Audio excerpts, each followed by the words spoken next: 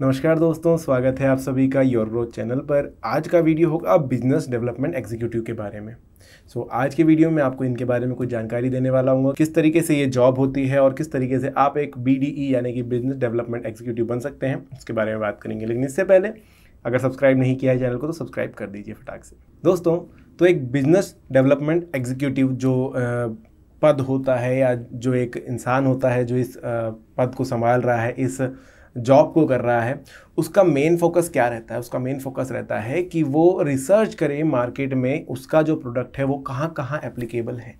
क्योंकि इनको मेन चीज़ ये रहती है कि इन्हें ढूंढना होता है मार्केट में कहाँ बेचा जा सकता है और नई जो लीड्स है वो कैसे लाई जा सकती है। देखिए, एक सेल्स एग्जीक्यूटिव जो होता है, उसका काम होता है कि वो सेल क्लोज कराए। वो जहाँ भी चीज़ें बेचनी है जो भी प्रोडक्ट है वो बेचना है उस जगह पर जाए वहाँ के कस्टमर्स के साथ जो है बा, बातें बातें करके और सेल को क्लोज करें। फिर पेपर वर्क वगैरह वो सारा काम सेल्स एग्जीक्यूटिव का। लेकिन जब बिज़नेस डेवलपमेंट एग्जीक्यूटिव की बात आती है तो इनको जो है नई अपॉर्चुनिटीज़ अपनी कंपनी के लिए लानी होती है। सो so, अगर एक रिस्पॉन्सिबल पर्सन देखें जो मेन मेनली रिस्पॉन्सिबल है अपने बिज़नेस की ग्रोथ के लिए वो एक बिज़नेस डेवलपमेंट एग्जीक्यूटिव होता है। सो so, अगर ऐसे देखें तो समझ आता है कि भाई इनका काम है नई लीड्स ढूंढना नई अपॉर्चुनिटीज़ ढूंढना और उसके लिए कस्टमर से बातें करना सेल्स को प्रमोट करना और सर्विसेज़ को प्रमोट करना।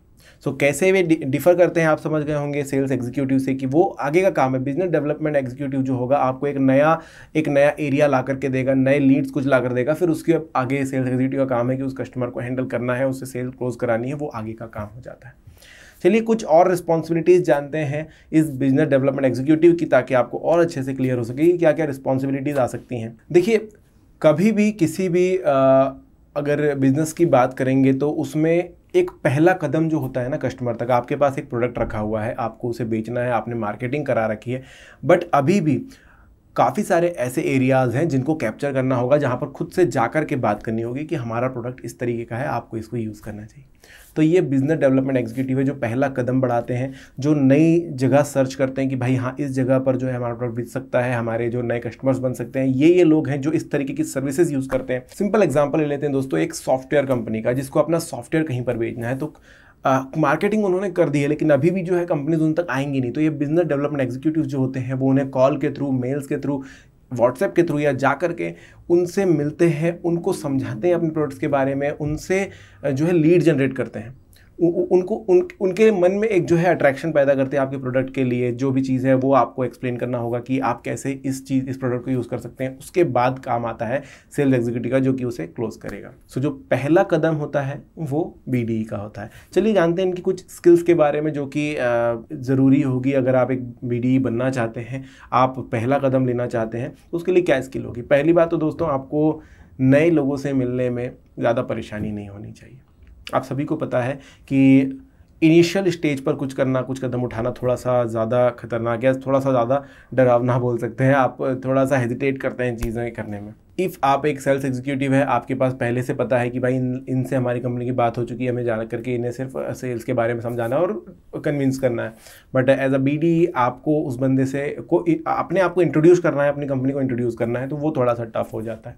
इसीलिए आपकी जो कम्युनिकेशन स्किल है, वो भी अच्छी खासी होनी चाहिए। तो पहली बात, आपके अंदर हेजिटेशन थोड़ा कम होना चाहिए और दूसरी बात, आपके अंदर कम्युनिकेशन स्किल आपकी जो है काफ़ी बढ़िया होनी चाहिए ताकि आप अच्छे से एक्सप्लेन कर सकें आपके प्रोडक्ट के बारे में। आपको जो है कम से कम बिज़नेस नॉलेज तो होना ही चाहिए। अब देखिए, मैं ये नहीं कहूँगा बहुत अच्छा बिज़नेस नॉलेज कि भाई बिल्कुल आप जाते हैं और सेल्स कंप्लीट करके ही आते हैं। आपके अंदर एक बेसिक नॉलेज भी है, आप एक्सप्लेन कर सकते हैं अपने प्रोडक्ट को, लोगों के क्वेश्चन का आंसर दे सकते हैं और कैसे बिज़नेस चलता है वो आपको अगर पता है तो आप जो है एक बीडी के लिए सुटेबल पर्सन है। अगर आपका एक बैकग्राउंड है जिसमें आपने मतलब बिज़नेस किया हुआ है या पिछले, पहले भी कोई जॉब करी है तो आपको थोड़ा बहुत एक्सपीरियंस होता है कि नए लोगों से कैसे मिलना होता है और कैसे उन प्रोडक्ट के बारे में जानकारी देनी है। अब दोस्तों, बात आती है नेगोशिएशन स्किल्स की।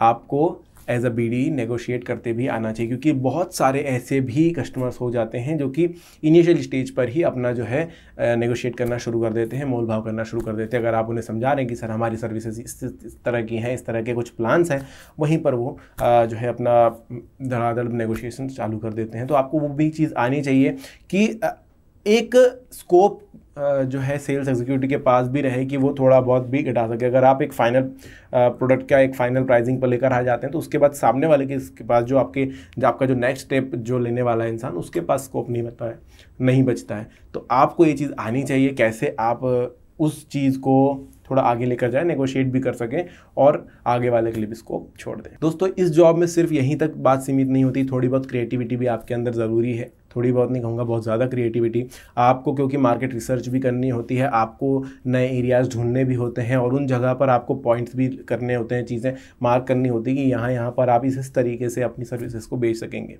और एक चीज़ जो है दोस्तों, वो आनी ही ज़रूरी है, ये है प्रॉब्लम सॉल्विंग स्किल्स आपके अंदर प्रॉब्लम को सॉल्व करने की क्षमता होनी चाहिए। बहुत बार हर एक जिस भी जगह पर आप जाएँगे बीडी के सामने बहुत सारी प्रॉब्लम्स आती क्योंकि आप जो है फ़र्स्ट पे कम्युनिकेशन जो है फ़र्स्ट टाइम जो होता है, वो या तो ईमेल्स के ज़रिए होता है या फिर फ़ोन कॉल्स के ज़रिए होता है। तो आपको वहाँ पर भी बहुत सारी प्रॉब्लम झेलनी पड़ सकती है। कस्टमर कई बार इरिटेटेड होते हैं, किसी दूसरे काम में फंसे होते हैं, तब आपको जो है वो सारी चीज़ें आनी चाहिए, कैसे टैकल किया जाए उन्हें।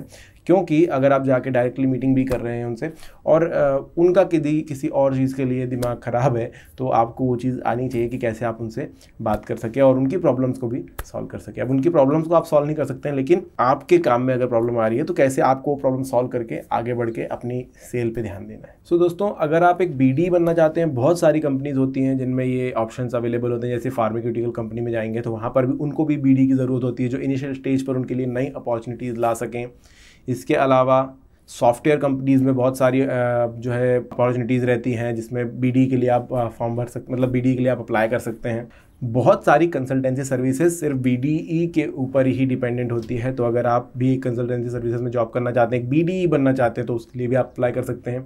मैं आप कुछ, आपको कुछ सेक्टर्स बता रहा हूँ जिसमें आप अप्लाई कर सकते हैं। इसके अलावा टेलीकम्युनिकेशन या फिर कहें इंफ्रास्ट्रक्चर कंपनी या फिर कहें जो प्रोडक्ट रिलेटेड कंपनीज़ होती ना, जिनके कुछ प्रोडक्ट्स होते हैं, चाहे वो कार हो, चाहे वो सिम कार्ड हो, चाहे वो मोबाइल फ़ोन हो, चाहे वो बाइक हो किसी भी प्रोडक्ट के लिए जो है बी का होना आवश्यक होता है। सभी कंपनीज़ अपने अपने तरीके से चाहे वो बीपीए के थ्रू हो बीपीओ के थ्रू हो या फिर कहीं से भी बी को जॉब देती हैं ताकि नए अपॉर्चुनिटीज़ खुल सकें। अगर दोस्तों सैलरी की बात करेंगे एक बी की तो जो आप जैसे मतलब ट्वेल्थ पास किया हुआ है आपने और या फिर आपने थोड़ा बहुत ग्रेजुएशन किया हुआ है इनिशियल अभी अब फ्रेशर हैं तो दस हज़ार रुपये से भी जॉब शुरू होती है और अगर आप हाई लेवल तक जाएँगे सीनियरिटी जाएँगे एक्सपीरियंसड हैं तो साठ, सत्तर हज़ार, अस्सी हज़ार तक भी इनकी पेमेंट हो सकती है। सो आई होप दोस्तों बी के बारे में काफ़ी कुछ आपको मिल चुका होगा। नॉलेज अगर आपको वीडियो पसंद आया तो लाइक ज़रूर कीजिएगा सब्सक्राइब ज़रूर कीजिएगा और कमेंट सेक्शन में बताइए वीडियो कैसा लगा।